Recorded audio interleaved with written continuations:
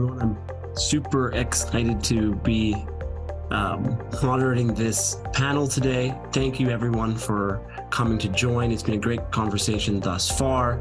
We'll try not to uh, repeat a lot of the conversation, but there will be some overlap, I think, with some of the topics that have been previously discussed um, amongst the stakeholders that we have here today, which is a diverse group uh, from healthcare executives uh, to founders and also data aggregators. Um, I'm a principal at Pender Ventures, uh, as you mentioned. We're a venture capital firm focused on the intersection of health IT and enterprise technologies. Um, our panel discussion today is around exploring the innovative solutions to integrate data and drive better health outcomes. Uh, you know, working as an investor, I see firsthand some of the challenges and opportunities uh, to utilize data, capture data uh, to drive better health outcomes. And, and, and so I thought I would structure our conversation around the sequencing of events that needs to take place and capturing, accessing, and integrating and usage and feedback loops as well. Um, so I'll kick it off with Heidi today. Um, it's actually one of the last topics that was discussed in the previous fireside chat, but around um, there's so much data that resides in the EMR. And I'd love your perspective on how we can reduce the paperwork burden or what EMR companies can do to reduce that paperwork burden uh, with our practitioners while keeping data structured. Uh, thanks for the question. Uh, there is an enormous amount of data that is collected intentionally in EMRs, as well as data that can be collected with sensors or as the healthcare moves through care of patients. And so, with what we're approaching the issue of data capture with, is through alternative methods of data collection to reduce uh, caregiver burnout and paperwork time in healthcare. So, this can include uh, what we've built already is including video, voice collection, um, as well as clinician led automated charting. With your EMR, what we don't want to see is that Microsoft Word and Google Docs is still more efficient than using the EMR because of what was discussed today, you know, too many clicks, uh, too many complex screens, and things like that. So, automated uh, and alternative data collection, I think, is where we need to move to. We, we, we, I was thinking about also moving beyond the GP and, and, and Brian, this is a question for you just around obviously Providence is a multi-facility healthcare system. Now, just wondering some of the work that you've done to better capture and structure data across the healthcare continuum, um, but also just highlighting any technologies as well that you've had to embrace um, for that. For sure. Thank you.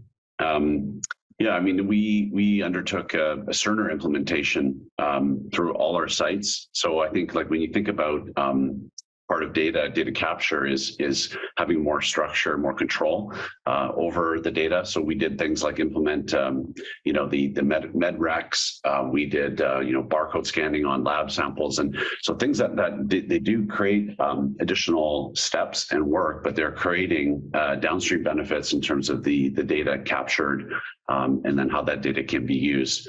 Um, so the EMR is one part um, and and and any health uh, care organization, you have multiple systems that you're dealing with. And, and so you can have like your EMR really nailed down, but you've got a lab system or you've got an imaging system. And so our approach um, at Providence to this is we've we've invested in you know an Azure cloud solution that is essentially a data layer that allows us to connect to our different systems and then ask questions of that system.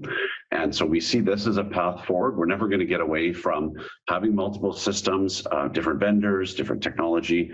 Um, and so we're trying to build above and build, you know, in the cloud, so to speak, um, and then use that to enable um, our, our data inquiry tools and, and hopefully in the future, even just our own internal applications that will help people better navigate and use the data. That's um, really helpful. Uh, actually, and, and and I think this will uh, come into play in, as our conversation goes on as well. Um, for for Brent, as a aggregator and and and I know that your slogan is better data, better decisions, healthier Canadians. Mm-hmm. Um, so I'm I'm curious on on your perspectives on hurdles that your team has overcome mm-hmm. to capture and structure data from a multitude of different different stakeholders. Um, again, highlighting any technology solutions that uh, you've had to embrace as well. Mm-hmm. Thanks, and it's it's a pleasure to be part of the event and and part of the panel. Um, we're a bit unique, perhaps, um, or I'm a bit unique in in the participation here in that you know we're a, we're a government funded organization. Uh, but independent from governments and really, you know, I think better data, better decisions, healthier Canadians really explains what we do. Um, and what we're here to do is to support decision making in health systems, in policy, and in other arenas, and to um, sort of aggregate and enrich and then make data available in different ways, uh, turning it into information, of course. And I just can't emphasize enough that um, you know in our sort of pan Canadian purview that that it, you know it really comes down in terms of better capture and structure. I think there's two things. Um, obviously, the first one is standards standards are critical. Um, content standards, uh, exchange standards, privacy standards, standards around the governance uh, of data, especially, um, and really, of where, where we've seen success uh, over time in uh, uh, improving the capture and structured data is is in a, a few areas. One is embedding uh, content standards at the point of service, at the point of payment, or more recently, and a panelist already mentioned it, sort of naturally occurring collection of information data that's really important to decision making. Um, and so, really trying to see more opportunities to embed those standards at the source so that as data flows through for patient care, for uh, patient access uh, through to system management and on to research and innovation, that the standards is it's sort of a you know collect once, use often is is is the um, the point of view. I'd make the point that we have many applicable standards and classification systems and coding sets uh, for use in Canada, and one of our challenges is we don't follow them all the time. And so I think it's really important, first of all, that we um, don't over perceive uniqueness and that we and that we have some discipline and I think improved governance in the country are, and convergence around certain types, certain standards uh, for the betterment of the data ecosystem, which is for the betterment of health systems and uh, for the outcomes for people. And then the second area, standards is key, but the second area is, of course, the role of technology in managing data burden. Another panelist also talked about the proliferation of, of, of, content and data in EMRs. Well, we see that in the system generally. And there are opportunities uh, for us to, first of all, rationalize data, collect once, use often, but to also take advantage of things like sort of data integration and data linkage through things like um, natural language processing and AI to to really um, you know I think rationalize and make the data systems more efficient, more timely, um, but also decrease and critically the burden. Uh, and others on this uh, in this event have talked about burden. I think part of this and, and really successfully looking at where and how data is captured in the system, we have to provide more attention to workflow uh, and the burden on on healthcare workforce. I think you know we see studies on the amount of time that people in the healthcare system spend entering data. And yes, it's digital, but we I think we can do better on that.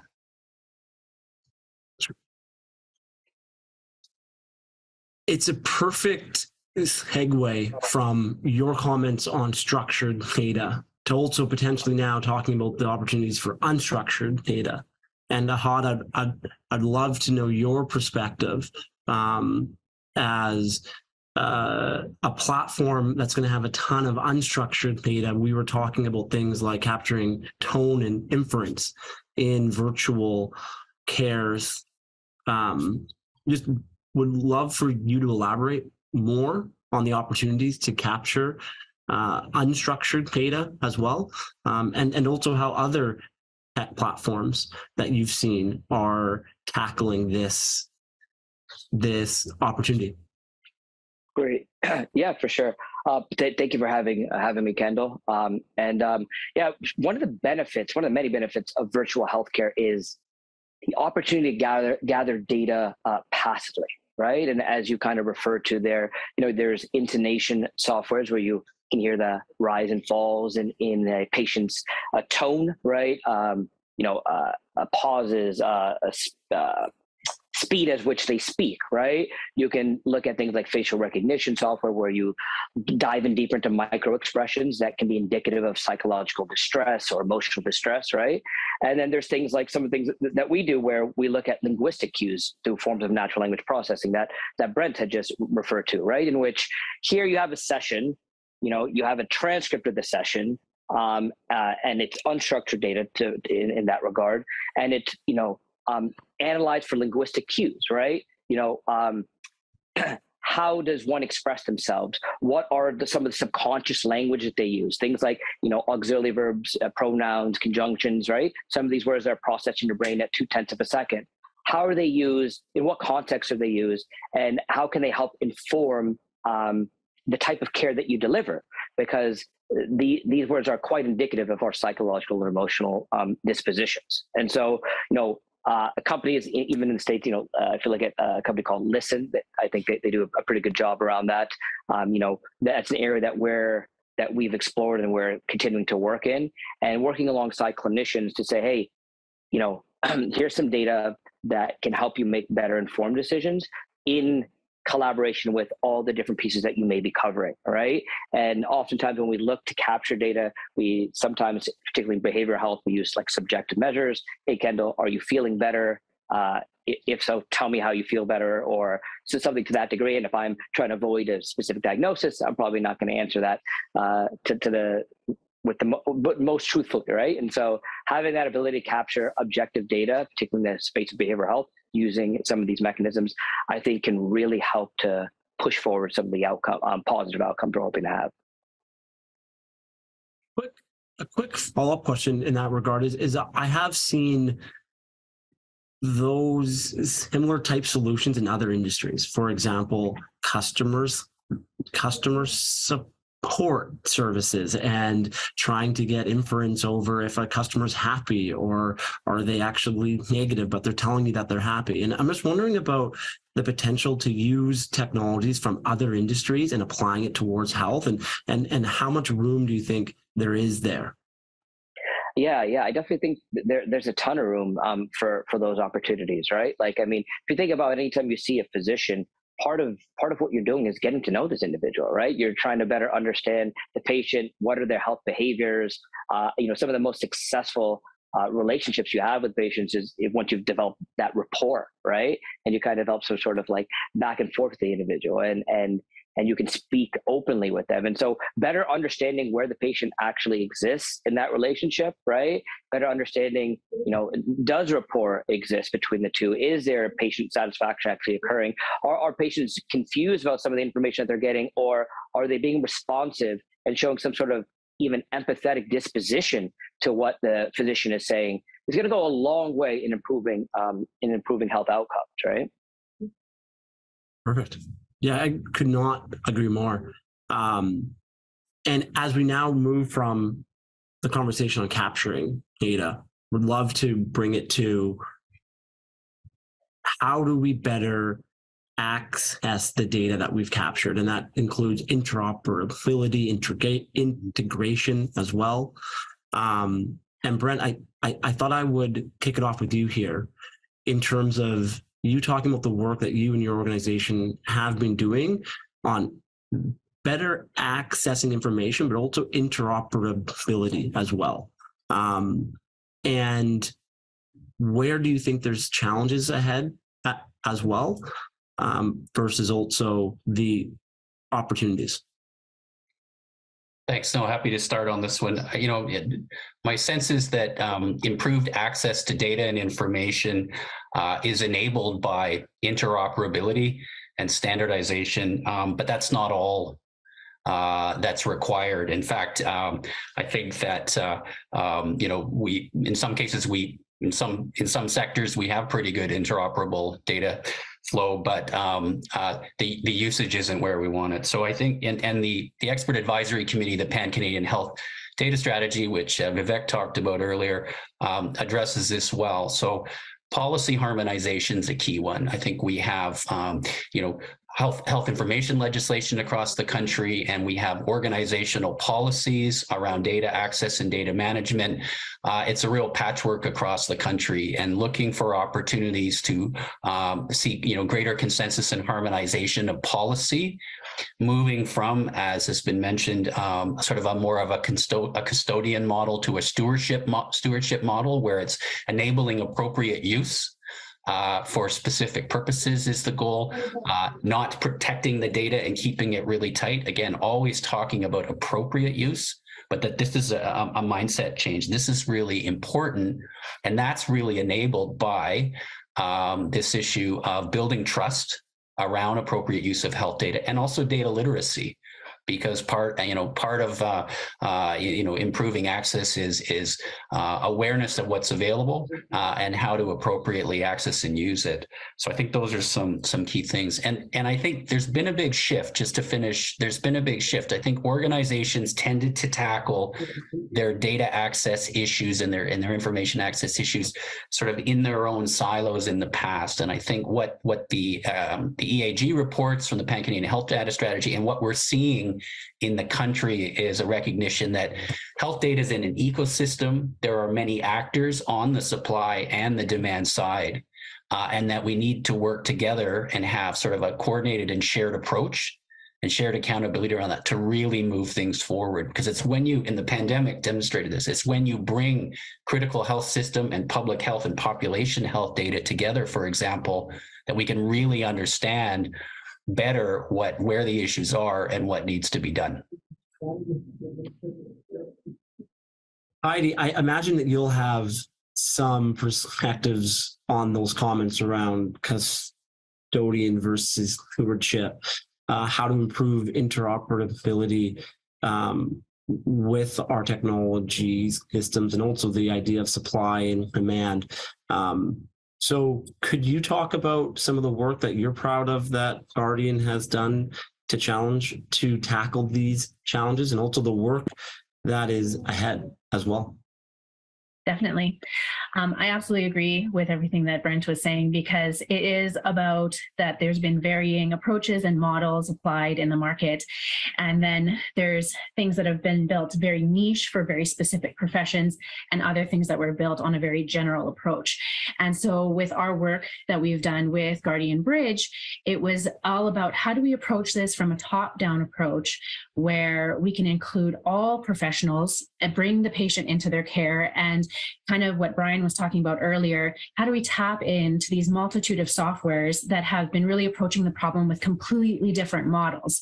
So with the guard with the idea that we need to, to control the who, when, and why of data movement um, because we had to assume that some of even some of the older software models, you know, don't have that same internal security uh, that our system has. So uh, we have really great um, legislation and standards and organizational policies around external security for software, but there's a lot of variation in what is allowed for internal data movement. Um, so a piece of the work that we've done with Guardian is uh, we can bring different organizations together into a, the same ecosystem, but we don't automatically share any data with somebody who is outside of a client's uh, care team.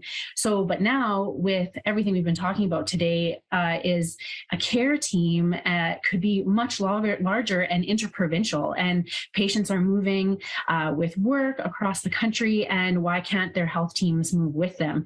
Um, so, course, from an EMR's perspective, we need to be compliant with uh, legislation. And as the legislation moves forward, we can go along with it.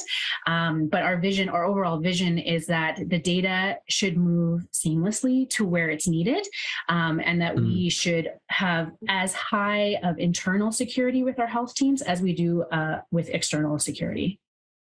Yeah. You'll uh, follow up on that then, Heidi, is that I hadn't even thought about the challenges of the regional aspect as well. And sort of as the care team as you talk about uh, isn't going to be specific to one region and you'll know more than anybody that canada is uh, not one unified uh, health org. Um, you know there's different regions and there's different uh, um, uh,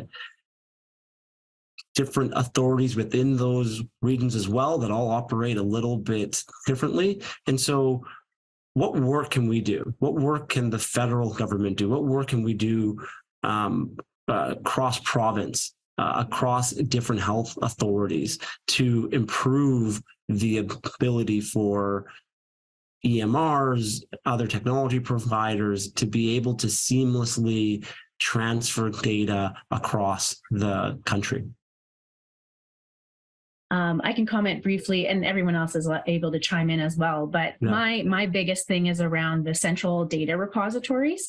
Um, I think that it might be a better idea to move into um, kind of more bridges rather than creating these central pools, because the central pools of data could actually block innovation into the market, um, as well as create large security uh, targets. So it, rather than having large vendors handling all of the data, it might be safer to have a high standard for the whole market and then have data only move and be where it is needed to be. And so, uh, if you're working in the South with a team, we do need that whole health ecosystem to work together, but there's no need for that data to be accessible in the North if the client never went uh, to the north of their province kind of area. So, we do need to blend that private uh, to public access of data um, because, you know, somebody might be accessing a private physio, but then they're accessing public uh, physician, and then those two systems won't talk. Um, but instead of a central data repository, more about uh, data movement in secure ways uh, as needed with the patient movement. Awesome. Uh, Brian, leads me to you. Uh, I, I, I noticed some of the work from leading healthcare hospital systems and aggregating data into data lakes, um, central repositories uh, that Heidi was just talking about as well, but specific for a health system. Um, Providence has Data Lab. Would love for you to talk uh, more on that. Um, but but how that came to be and the problems it's trying to solve for complex research projects. For sure. Yeah. No. Thank you. It's been interesting listening um, to the comments so far.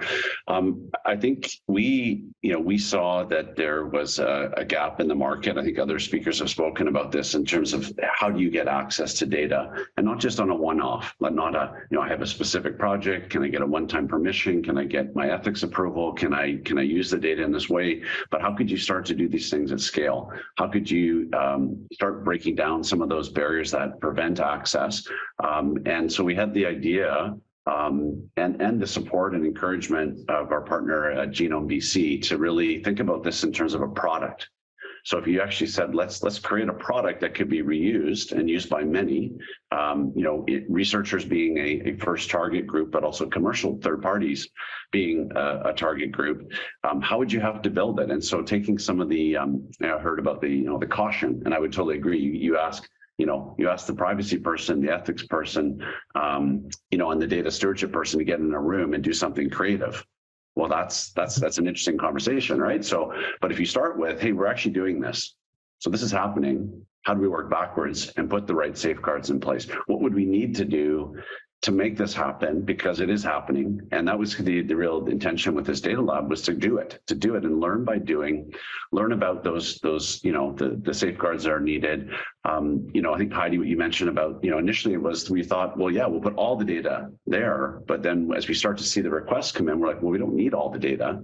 And that's actually really expensive to put all the data in another place. And and and it has its its drawbacks. So so we're actually learning by doing um, there was a comment about pilots and like you know my kind of mission is to never do a pilot is is always just to do it and actually do it in production. And and so uh, we, are hoping to kind of learn like a startup and that's my my background is startup and tech startups is you know let's let's develop the market develop the product by doing not not just um, you know thinking. And, and i think some of the challenges with like sorting out all of our data problems will net will, will be stuck there forever and i think everyone has a certain amount of data shame. You know my data is not quite ready. It's not quite as structured. It's not quite as pretty mm. as it mm. should be. And, and it's not quite ready for, for prime time. But you know what? We got to get past that and, and just get on with doing and and seeing. And you know it might fail. It might fail. But um, you know that's going to i think advance us. A follow up for you. Without talking about anything confidential um, where do you see commercial applications in the future going? Like like the ultimate look forward five years ten years um, and commercial parties utilizing ada um, what were the outcomes from it? What are the problems or challenge or uh, that they would try to overcome? Sure. Um, I mean, I think we have to recognize that commercialization is how patients get to consume innovation.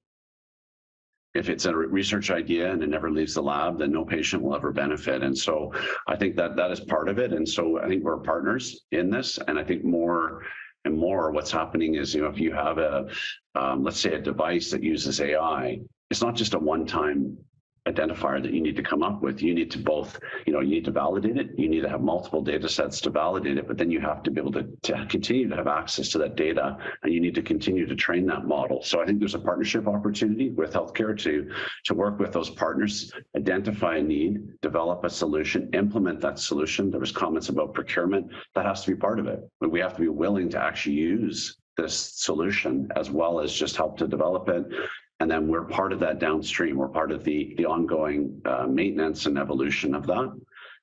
So I don't know if that speaks into your question, but that's just some thoughts there. Good. Um, helpful for sure, and and and moving over to Ahad, perhaps thinking about. There's been a ton of conversations on privacy and security. We haven't even really gone into that much. I'm um, I'm not sure if uh, you just saw, but the FTC just did a crackdown um, with uh, a telemedicine company in the US for their privacy uh, concerns around patient data being used for advertising. Um, and so there's there is now legitimate concerns and and actually regulatory crackdowns the other way. And so thinking through how do you think about privacy and security, but also patients owning their own data as well. And is that an important part uh, of leveraging data for better health outcomes? Yeah, I mean, I think I think privacy compliance, uh, some of these regulatory concerns that we've seen for years, I, I think I don't ever think that's that's going to go away. It, it's always going to be something that that we, we battle with and and there's always going to be situations in which um you know it raises concerns amongst our population right?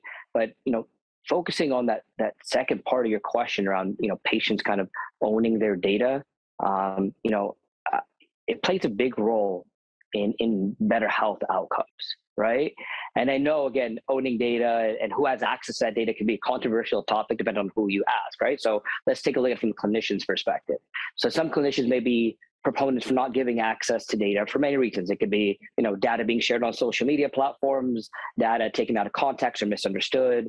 Um, and if you look particularly at behavioral health, you know, perhaps ruminating over late night over a, a session or something that may have uh, uh, kind of emerged in that therapeutic session, right? Like maybe they're taking it out of context, thinking too deeply about this without having the right guidance. Um, so I get that side of it. But when I think about the patient, um, the more informed we are, uh, the more empowered we are to improve our health care, our health decisions and lifestyles. Right? You can't know, you can't fix what you don't know. Right? And so, um, have you ever tried like reading a medical report and and just staring at you know all the different levels, these panels that you've gotten before? It's it's it's very difficult to read. It, it can be like you know reading an, another language that you're not familiar with, right? And so, what our company envisions is reports with digestible designs and information that truly empowers the patient to take control of their health and be partners in their own care, right? And so, you know, I'm a big proponent for helping patients understand their data, but giving them access to their data and having them play an active role in their own healthcare. couldn't uh, agree more. And and and I also imagine a world where people are always concerned about the patient becoming um, their own their own clinician and trying to diagnose and etc. But there is a world where the patient also agrees with the provider, with the physician, because they understand more holistically what the protocol is going to be, what the um, um, what their potential indications are as well. And so adherence could be improved from understanding yeah. as well. Um, Brian, I thought I'd go back to you now on usage of data, right? So now we're moving into potential feedback loops, always tying things to better health outcomes or reducing the cost or barriers of healthcare. Um, would love your perspective on the importance of utilizing data to better measure health outcomes and, and, and, and hospital performance as well. Um, and also the work that's still to be done to improve uh, the measurement of outcomes, and especially as we're moving towards value based care as well. Mm-hmm. For sure. Yeah, no, it's a good, good segue. Um, I mean, I think we're, you know, we're definitely here in BC um, seeing uh, the new premier's focus on what are we getting for the money we put in? Uh, what are the specific outcomes that have been achieved? Um, and I think this is very aligned with the, the, the idea of value-based healthcare, which is not a, a new idea, but um, you know, how do you achieve objectives that the patients themselves value? And in order to do that, you first need to know how, you know, what does the, the patient value? Why are they getting the surgery? Did they, they get this? They didn't get the surgery to get off the wait list. They, they got the surgery because they have a certain goal in mind um, or an activity they want to resume or um, something like that. And so, um, you know, we're looking at how can we start to capture and add those pieces of data to our system, and then at the same time understand the activities that we deliver um, against that, and and and dig into which activities actually have the highest correlation with the outcome that this patient actually wanted. And if you can do that, I think it allows us to start moving down this this chain, this value chain where you know you could theoretically start eliminating things that don't add value to things that patients want. Um, and you could emphasize and spend the money that we have on producing more of those outcomes. So I think um, that's what um, Providence is focused on. We're really we're doubling down on on you know value-based healthcare and investment there in the systems we need to capture. Um, and there's also an interesting like the the accountant in me is interested in the almost management accounting, like the costing you know, what does it cost to do a certain procedure? What does it cost to see a patient? And, and there's differing costs depending on how you see the patient. So um, if you start to link the financials in, then we start to get into this really interesting place where we can also start to think about optimizing the, the financial side of a delivery.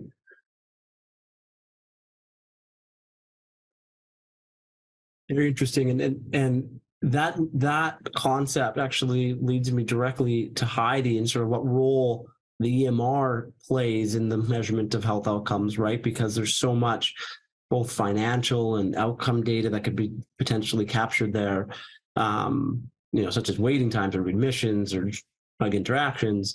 Um, so your thoughts on on how we can utilize this data to better understand health outcomes as well there is an enormous amount of very valuable data that is being actively collected in EMRs across the world. And then preventable health outcomes are just falling through the cracks because nobody is looking for it specifically. So there's an enormous amount of data. You can't just kind of crunch all of it, hold all of it. You need to really approach the problem with what is this specific question that you're trying to ask. And there's two ways that we can look at it too is that there's the known risk factors and the known symptom patterns in an individual's health that we know will have certain outcomes that could be caught and prevented much earlier. And then there's the population level work. Um, um, and then Brian mentioned the management level and, and cost saving work. So, so, all of that data is accumulating in EMRs. Um, and there's different ways uh, and levels of integration. So with us, we have, of course, our um, automated reports built into the system, but it goes back to that what is the right question. So for future work for us, it's more important on what kind of data software and data analytics softwares that we're integrating with as an EMR um, to get those more valuable population level and health outcome prediction uh, models. And so, kind of what was mentioned before, the EMR is not the end all be all for healthcare. We're uh, in a network of softwares and technologies that's really going to make this difference.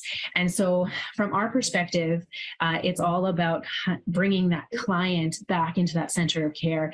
And, you know, what do you want your data participating in? What are you comfortable with? Um, how can your data be used to impact not only your your own health as a client, but your health of the overall community for that population level tracking. And uh, that's a big part of our EMR as a whole is bringing that client uh, more into their care, and then that'll echo down uh, to research and analytics down the road. That's great.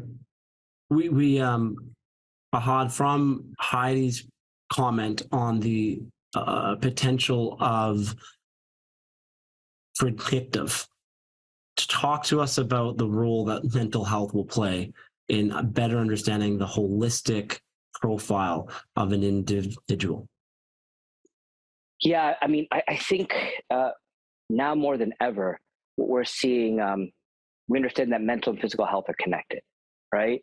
And that, um, you know, if we're passively analyzing sessions, you know, whether it be using forms of NLP or linguistic cues, coupled with, you know, maybe wearable data, we can make more, we can get better information on the patient and help uh, inform them on some of the, um, you know, some of the things they can do to improve their health. And so I'll give you, I'll just give you an example of, of what I mean.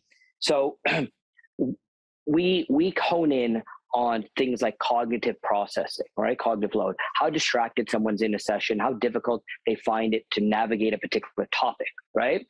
Um, and one of the precursors for this is that um, when we are stressed, right, uh, we activate our amygdala, which activates the sympathetic response, fight, flight, or freeze, right?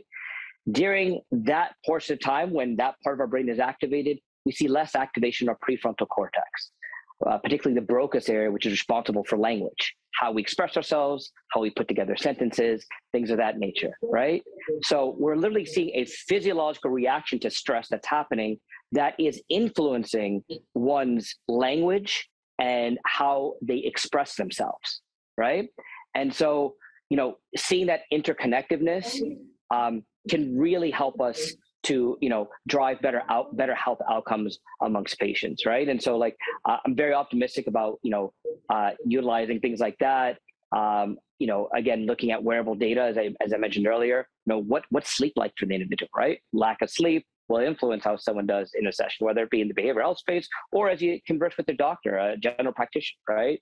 Um, heart rate variability, diet, all these different pieces of data we capture, you know, having that kind of work in congruence with some of these um, passive elements of data monitoring, uh, again, will I think is the next frontier.